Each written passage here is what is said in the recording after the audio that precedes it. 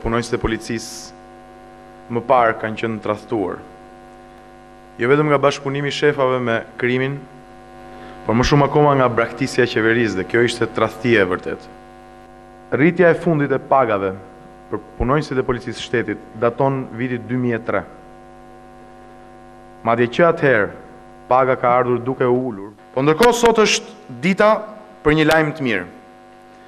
Po, pagat e mbi njëmbëdhjetë mijë punonjësve të policisë në të gjithë Shqipërinë do të rriten përsëri që nga janari i vitit dy mijë e shtatëmbëdhjetë.